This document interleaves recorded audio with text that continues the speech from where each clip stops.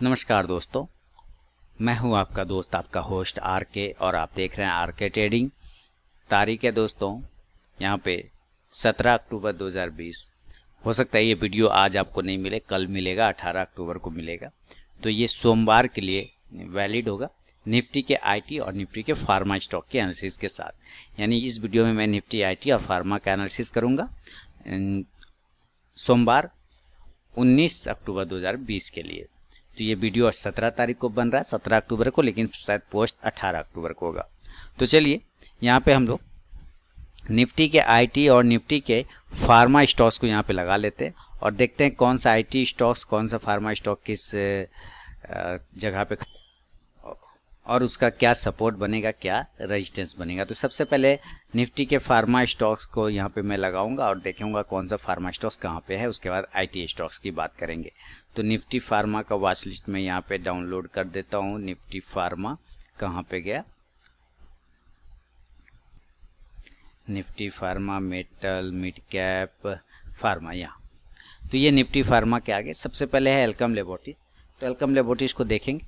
देखिए, एल्कम लेबोटिस को मैंने जो थर्सडे को भी बताया था आप लोगों को कि आपको 2650 के नीचे सेल का पोजीशन बनाना है 2600 के टारगेट के लिए। हालाँकि ये इसने जो लो लगाया 2630 का लो लगाया और वहीं पे जाके ये रुक गया। तो ये कहीं ना कहीं अपना इस प्रीवियस जो हाई पॉइंट है, इस रेंज को आने की कोशिश करेगा, जो कि लगभग लगभग अगर इसका प्राइस हम लोग मान के चलें तो ये प्राइस हमारे पास पच्चीस सौ नब्बे के आसपास, यानी छब्बीस सौ का एक हाई पॉइंट वो टेस्ट करने की कोशिश कर सकता है। अगर उसको बाउंस करना होगा तो बिल्कुल छब्बीस सौ के पास से ही बाउंस करेगा। एक बार ये छब्बीस सौ के लेवल को टेस्ट करेगा, उसके बाद वहाँ से बाउंस करना चाहिए। मंडे को अगर ये ऊपर की तरफ़ में छब्बीस सौ सत्तर, अस्सी, ये सब लेवल अप साइड में ब्रेक करता है, सत्ताईस सौ तो देन बाई साइड चला जाएगा सत्ताईस सौ पचास के टारगेट के लिए। कौन सा स्टॉक एलकम लेबोरेटरीज अगला स्टॉक है ओरो फार्मा तो और फार्मा का भी चार्ट यहाँ पे हम लोग लगाते हैं और और फार्मा की जो लेवल है वो आपके सामने आ रहा है। देखिए और फार्मा डाउन साइड में आया कंटिन्यू चार से पाँच लेकिन रेजिस्टेंस लेवल अभी भी वैलिड है। रेजिस्टेंस हमारे पास जो वैलिड है, वो रेजिस्टेंस हमारा है आठ सौ का। ये बार बार रिजेक्ट हो रहा है 850 से अगर आप ध्यान से देखेंगे तो 850 के पास से वो बार बार रिजेक्ट हो रहा है। एक बार अगर ये 850 को अप साइड में ब्रेक करेगा देन ये ऊपर के लेवल 900 तक जाने की कोशिश कर सकता है। तो 850 60 ये सब लेवल है। अगर ये अप साइड में 860 ज़्यादा बेहतर होगा 860 को अगर ब्रेक करे तो मस्त प्रॉफिट बनेगा 900 के टारगेट के लिए। लेकिन नीचे, अगर ये नीचे किसी भी कारणवश 780 को ब्रेक कर देता है। तो पोजिशनल कॉल सेल साइड का बन जाएगा टारगेट 750 का होगा और फार्मा में। अगला स्टॉक है बायोकॉन चलिए हम लोग बायोकॉन को देख लेते हैं। हाँ बायोकॉन को पोजीशन बनाने की कोशिश करेंगे 480 के ऊपर। यही इंपॉर्टेंट लेवल है इसके पास 480 का।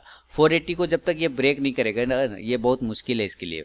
ये लेवल यहाँ से ज़बरदस्त गिरा ये स्टॉक और वहीं से देखिए कंटिन्यू गिरा। एक सपोर्ट है, चार सौ के आसपास का एक सपोर्ट है, जहाँ से वो बाउंस करने का या संभलने का कोशिश कर रहा है फोर के पास में। यानी नीचे सपोर्ट है फोर का, ऊपर रजिस्टेंस है फोर का। कुल मिला एक रेंज बाउंड हो चुका है ये स्टॉक उस रेंज के अंदर जब तक ये स्टॉक रहेगा हमको कोई भी ट्रेड नहीं करना है। 480 के ऊपर निकलेगा तो 500 का टारगेट नीचे अगर 430 को ब्रेक करेगा तो 400 तक का टारगेट सेल साइड में बायोकॉन दिखा सकता है। कैडला हेल्थ केयर की बात करते हैं तो चलिए केरला का भी चार्ट आपके सामने आ रहा है। कैडला देखिए फ्राइडे को एक अच्छा मूवमेंट दिखाया। केरला ने अच्छा मूवमेंट दिखाया, लेकिन पोजीशन जो बनाना है हम लोगों को ध्यान से बनाएँगे। 440 के ऊपर बनाएँगे, उसके पहले नहीं। 400 440 को अगर ब्रेक करेगा तो एक बार 450 तक जाने की कोशिश कर सकता है। कैडला नीचे अगर 410 को ब्रेक करेगा सेल करेंगे टारगेट 400 से लेके 390 तक का मिल सकता है। सिप्ला की बात कर ले। लेकिन दोस्तों बता दूँ कि लाइव मार्केट में अगर कॉल चाहिए तो टेलीग्राम चैनल को ज़रूर ज्वाइन करिएगा। वीडियो के डिस्क्रिप्शन में लिंक मिलेगा। फ्री ऑफ़ कॉस्ट में आप कॉल प्राप्त कर सकते हैं। यहाँ पे देखिए, सिप्ला बिल्कुल अगर आप, थोड़ा बड़े टाइम फ्रेम पर अगर चार्ट को देखते हैं तो आप पाएँगे कि सिप्ला बिल्कुल एक जोन में फंसा हुआ है। ऊपर 830 का एक रजिस्टेंस लेवल है, जिसको वो ब्रेक नहीं कर पा रहा एट थर्टी का। यहाँ से अगर ड्रॉ करते तो ये एट थर्टी का एक रेजिस्टेंस लेवल है। और नीचे एक ट्रेन लाइन का सपोर्ट है उसको। एक्चुअली यहाँ से अगर एक ट्रेन लाइन ड्रॉ करें तो ये एक ट्रेन लाइन का सपोर्ट है। अब इस लेवल के, इस ट्रेन लाइन का जब तक ये सपोर्ट है पॉजिटिव है। अगर 750 को नीचे ब्रेक करेगा सेल करेंगे टारगेट 730 से लेकर 720 तक के आसपास का मिल 700 तीस से लेके सात सौ तक का लेवल बन सकता है। ऊपर अगर ये आठ सौ पच्चीस को ब्रेक करता है बाय करेंगे। आठ सौ तीस को ब्रेक करेगा बाय करेंगे आठ सौ पचास से लेके आठ सौ पचहत्तर के टारगेट के लिए सिप्ला में। डिवीज लैब का अगला स्टॉक है। चलिए हम लोग डिवीज लैब पे भी फोकस रखते हैं। देखिए डिवीज लैब का अगर आप चार्ट को रीड करते हैं तो पाते हैं क्या क्या ये बड़े टाइम फ्रेम पर बिल्कुल साइडवेज जोन में आप ध्यान से देखिए, बड़े टाइम फ्रेम पर साइडवेज जोन है। ये स्टॉक ऊपर एक जोन बना के रखा है तीन हज़ार तीन सौ पचास के आसपास का रेजिस्टेंस जोन है और नीचे एक सपोर्ट जोन बना के रखा हुआ है। ये जोन के अंदर जब तक रहेगा, ये ट्रेड नहीं कर सकते। हाँ इंट्राडे में अगर प्रीवियस हाई या प्रीवियस लो को ब्रेक करता है तो मूवमेंट बनेगा। तो अगर ये मंडे के दिन तीन हज़ार दो सौ पचास को ब्रेक करता है देन हम बाई साइड जाएँगे। टारगेट हमारा तीन हज़ार चार सौ के आसपास का बन सकता है डिवीज लैब में। अगला स्टॉक है डॉक्टर रेड्डी का दोस्तों। चलिए हम लोग डॉक्टर रेड्डी को भी देखते हैं। डॉक्टर रेड्डी, नज़र बना कर रखिए। डॉक्टर रेड्डी अप साइड में अगर 5330 को ब्रेक करता है 5350 को ब्रेक करता है, बाई साइड जाएँगे चौवन सौ से लेके 5550 के टारगेट के लिए। सेल कर सकते हैं, अगर ये नीचे के लेवल 5000 का राउंड नंबर को ब्रेक करता है, सेल करेंगे टारगेट 4900 से लेके 4850 तक का मिल सकता है डॉक्टर रेड्डी में। अगला स्टॉक है लुपिन तो लुपिन का चार्ट भी आपके सामने डिस्प्ले हो रहा है, थोड़ा सा टाइम लग रहा है चार्ट लोडिंग में। उसके लिए कोई दिक्कत नहीं है। हाँ लुपिन में अब हमारे पास क्या लेवल में सकते देखिए ये एक ट्रेन लाइन का सपोर्ट था लुपिन में, जो कि ये ब्रेक करके नीचे आया, लेकिन वहीं पर से अपने आप को बहुत अच्छे तरीके से होल्ड किया है लुपिन अगर आप यहाँ से देखें तो ये देखिए, यहाँ से इसने ब्रेक करके नीचे आया, और नीचे आने के बाद अब वापस उसी के ऊपर जाके क्लोज कर दिया। तो अगर ये मंडे के दिन दस, एक हज़ार पचास, एक हज़ार पचास को ऊपर ब्रेक करता है तो एक बार एक हज़ार अस्सी की तरफ़ जाने की कोशिश कर सकता है, इंट्रा डे में नज़र बना के रखिएगा, लुपिन पर मूवमेंट कर सकता है। सन फार्मा। पोजिशनल कॉल भी लुपिन पे मेरा दिया हुआ है, जो कि आपको पता है, उसका एक टारगेट भी आ गया था लुपिन का। दोबारा से निकलेगा तो दोबारा में एक्टिवेट हो जाएगा। सन फार्मा 500 के नीचे ऑलवेज निगेटिव इसलिए सेल करना है 480 के नीचे। 480 के नीचे अगर सन फार्मा निकलता है सेल करेंगे 470 के। टारगेट के लिए, क्योंकि इंपॉर्टेंट सपोर्ट जोन है। 480 का अगर वो ब्रेक कर देता है तो सेल करेंगे 470 के टारगेट के लिए। बाय करना होगा 510 के ऊपर टारगेट 520 का मिलेगा सन फार्मा में। टोरेंट फार्मा की बात कर लेते हैं। अगला स्टॉक टोरेंट फार्मा देखिए, ऊपर से रिजेक्ट होकर नीचे आया हुआ है, लेकिन यहीं पर से एक सपोर्ट बना के घूमने की कोशिश कर रहा है। यहाँ पर से इसका एक सपोर्ट लेवल एक्टिवेट होता है इस कैंडल को अगर आप देखें तो यहीं पर से एक एक्टिवेट होता है सपोर्ट लेवल इस लेवल को अगर ये नीचे ब्रेक करेगा तभी ये कमज़ोर होगा। और वो लेवल 2600 के आसपास का राउंड नंबर का आ रहा है। हाँ अगर इंटरडे में ये नीचे की लेवल ब्रेक करता है 2680 को भी ब्रेक करेगा तो एक बार सेल साइड जा सकता है। टारगेट 2620 के आसपास का होगा।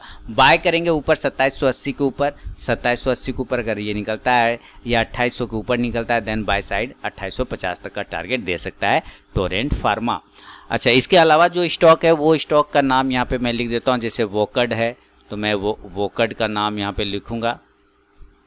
वोकड लिमिटेड है ना, वोकड फार्मा का स्टॉक्स है, ये आ गया।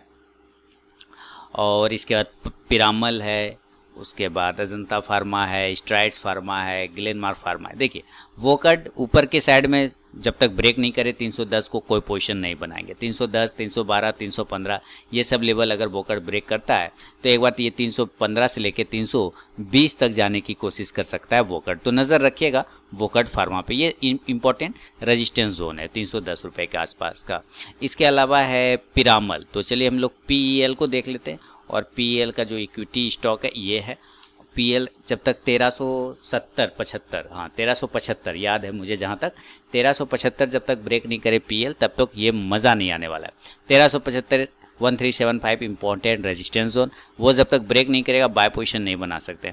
नीचे की साइड में अगर 1240 ब्रेक करेगा, हम सेल करेंगे टारगेट 1200 के आसपास का होगा। इंट्राडे में अगर आप साइड में 1310 को ब्रेक करता है बाय करेंगे 1350 के टारगेट के लिए 1370 के टारगेट के लिए। पी के बाद जो स्टॉक्स है, उस स्टॉक्स का नाम यहाँ पे ले आता हूँ। उसका नाम है ग्लेन मार्क फार्मा। तो चलिए ग्लेन मार्क फार्मा को चेक कर लेते हैं। ग्लेन मार्क फार्मा का लेवल 300 505 ना? 505 के ऊपर निकलने के बाद वो पॉजिटिव हो जाएगा अदरवाइज़ निगेटिव रहेगा। तो 490 के आसपास की क्लोजिंग है। हाई 500 का लगा था। 505 पे नज़र रखिए। 505 को अगर ये जिस दिन ब्रेक करेगा 505 5 फाइव टेन, ये मस्त मूवमेंट बना के देगा। ऐसे मैंने पोजिशनल कॉल भी दिए हुए हैं। फाइव ज़ीरो फाइव के ऊपर ये एक्टिवेट हो जाएगा। उसके बाद ये पंद्रह, पाँच सौ बीस से लेकर पचास तक का टारगेट दे सकता है। अगला स्टॉक है पिरांग ग्लेनमार्क फार्मा के बाद स्ट्राइस फार्मा या स्टार फार्मा भी आप लोग बोल सकते हैं। स्टार इक्विटी तो इसके आज 750 750 का लेवल है इसका, ना? ऊपर में शायद 750 का है बिल्कुल 744 आ गया ना। तो अप साइड में अगर ये 760 ब्रेक करता है तो 800 के टारगेट की तरफ़ जाने की कोशिश करेगा। अगर ये इंटाडे में नीचे की साइड में 725 ब्रेक करता है, सेल करेंगे, टारगेट कहीं ना कहीं हमारा 700 का होगा। इसके अलावा जो स्टॉक है, एक और स्टॉक है, वो है अजंता फार्मा दोस्तों, उसको भी हम लोग यहाँ पे लगा लेते हैं अजंता फार्मा और देखते हैं क्या लेवल आ रहा है अजंता फार्मा का। आपके सामने। थोड़ा सा माफ़ी चाहूँगा, चार्ट स्लो है। हाँ अजंता फार्मा 1600 को राउंड नंबर को ब्रेक करे ना तो मज़ा आ जाएगा। राउंड नंबर को ब्रेक करेगा 1650 का टारगेट आएगा। 1600 के ऊपर 1650 का टारगेट। नीचे सेल कर सकते हैं हम लोग 1520 के नीचे, टारगेट 1500 से लेके 1480 तक का मिल सकता है। तो ये निफ्टी के फार्मा पे मेरा व्यू है दोस्तों, फार्मा स्टॉक्स पे व्यू है। अब ज़रा मैं आईटी स्टॉक्स को लगाऊँगा और देखूँगा कि कौन सा आई स्टॉक्स अब किस लेवल पे खड़ा है। निफ्टी का आईटी स्टॉक तो चलिए, ये बीएससी का आईटी नहीं लेना हमें निफ्टी का आईटी लेना है, यानी कि एन e का। तो ये आ गए निफ्टी का आई इसमें सबसे पहला स्टॉक है कोफोर्ज का। तो चलिए, हम लोग कोफोर्ज के साथ आगे बढ़ेंगे, जिसको कि एन टेक हम लोग नाम, पहले नाम से जानते थे। कोफोर्ज में दोस्तों मूवमेंट आपको मिलने के चांस तो बनते हैं कोफोर्ज में, ठीक है? मूवमेंट क्या है? ये ये शेडो में ट्रेड कर रहा है। जब तक शेडो से बाहर नहीं निकले ना, मज़ा नहीं आएगा। तो शेडो से बाहर निकलने देते हैं। अब शेडो का मतलब क्या देखिए इंपॉर्टेंट लो से वो ब्रेक नहीं किया। तो इसका मतलब ये सपोर्ट लेवल 2450 का बहुत इंपॉर्टेंट सपोर्ट है, उसके ऊपर पॉजिटिव है। रजिस्टेंस है हमारा 2650 का। अगर ये 2650 को ब्रेक करता है, या 2600 को भी इंटरडे में ब्रेक करता है साइड में अगर ये 2600 को ब्रेक करेगा 2650 का टारगेट आपको दिखा सकता है कोफोर्ज एस सी टेक की बात करते हैं। एस सी टेक ऐसे मन, जो फ्राइडे को है कितना पॉजिटिव था। एस सी एल टेक शायद पॉजिटिव मूवमेंट में ही क्लोज हुआ था। तो यहाँ पे एस अच्छा आया था 877 का हाई लगा था क्लोज हुआ था नीचे, ठीक है। अब यहाँ पे देखिए ये कंटिन्यू तीन दिन से डाउन आ रहा है, लेकिन वॉल्यूम इसके पास ज़बरदस्त है। तो याद रखिएगा, नीचे अगर ये 820 का इंपॉर्टेंट सपोर्ट है, अगर 820 को 8 820 को अगर ये नीचे ब्रेक करता है तो फिर हम सेल साइड का मूवमेंट ले सकते हैं 800 के टारगेट के लिए। एक इंपॉर्टेंट ट्रेंड लाइन है इसके पास, अगर आप इस यहाँ से अगर आप मार्क करते हैं तो आप पाते हैं क्या कि इस ट्रेंड लाइन का ये ब्रेकआउट करके ब्रेक डाउन करके नीचे क्लोज है। तो टेक्निकली चार्ट पे थोड़ा तो वीक है। पॉजिटिव होने के लिए कम से कम इसको 850 के ऊपर क्लोज करना पड़ेगा एससीएल टेक को। इन्फोसिस की बात कर लें, बहुत ही वोलाटाइल हो गया है इन्फोसिस दो दिनों में 50 पॉइंट ऊपर, सौ पॉइंट नीचे 150 पॉइंट ऊपर पचहत्तर पॉइंट नीचे, ऐसे ही कर रहा है। अब देखिए, ये जैसा निफ्टी का चार्ट है ना सेम इसका चार्ट है। अगर आप निफ्टी का डेली का चार्ट देखेंगे ना तो पाएँगे बिल्कुल इन्फी और निफ्टी इक्वल है, दोनों भाई तरह चल रहा है। बाय साइड अगर हमको जाना होगा इन्फोसिस में तो हमें 1140 के ऊपर बाय पोजिशन लगाएँगे। 1150 से लेके 60 के टारगेट के लिए सेल करेंगे। एक ग्यारह के नीचे टारगेट हमारा एक हज़ार नब्बे से लेकर अस्सी तक का मिल सकता है इन्फोसिस में मंडे के दिन। एलटीआई यानी कि एल एन की बात करें, मस्त मूवमेंट मिला था दो तीन दिन पहले। उसके बाद कंटिन्यू अप डाउन में आ रहा है। लेकिन याद रखिएगा, इसके पास एक सपोर्ट है 2930 के आसपास का। अगर वो ब्रेक हो जाएगा तो सेल करेंगे टारगेट 2850 तक का बन सकता है। बाई साइड तीन हज़ार तीन सौ पैंतीस तीन हज़ार 380 के ऊपर ये रजिस्टेंस जोन है। 3380 3390 3400 ये सब लेवल है। ज़्यादा बेहतर होगा आप 3400 के ऊपर बाय का पोजीशन बनाएँ तो ज़्यादा अच्छा है, तब जाके एक टारगेट 3500 के आसपास का एलटीआई में मिलेगा। माइंड ट्री की बात करते हैं तो चलिए माइंड ट्री का लेवल चेक कर लेते हैं। हाँ माइंड ट्री देखिए, सब ऊपर शुरू में तो यहाँ पे तो दो दो सौ पॉइंट का इसने खेल किया अकेला। अभी देखिए, ये क्या है कि नीचे आया, लेकिन नीचे से कवर बहुत अच्छा किया। कवर किया, वापस नीचे आ गया। अब ये हमें पोजीशन बनाना होगा तो 1450 के ऊपर बनाएँगे। उसके पहले तो माइंड ट्री में पोजीशन बनाने की गलती करना भी नहीं। अभी इसकी सिर्फ़ नज़र रखेंगे। 1450 के ऊपर पोजीशन बनाएँगे। एम्फासिस 1250 के ऊपर पोजीशन था, शायद इसका। चेक कर लेता हूँ दोस्तों। 1250 के ऊपर। बारह सौ पचास से तेरह सौ पचास चला गया, चौदह सौ पचास चला, पंद्रह सौ। ज़्यादा बेहतर होगा चौदह सौ पचहत्तर के ऊपर अगर निकलता है तो पंद्रह सौ का लेवल, पंद्रह सौ पच्चीस का लेवल दिखाई देगा एम्फासिस में। बारह सौ पचास, बारह सौ के ऊपर पोजिशन बनवाया था, यहाँ पे मैंने कहीं उसी की बात कर रहा था, वहाँ से ऊपर आया।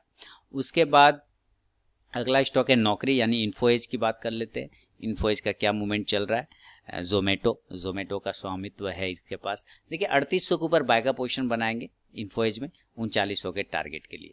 फ़िलहाल। और अगर ये नीचे की साइड में किसी भी कारण बस 3550 को ब्रेक करता है सेल कर देंगे, वो गिर जाएगा नीचे 3500 के टारगेट के लिए।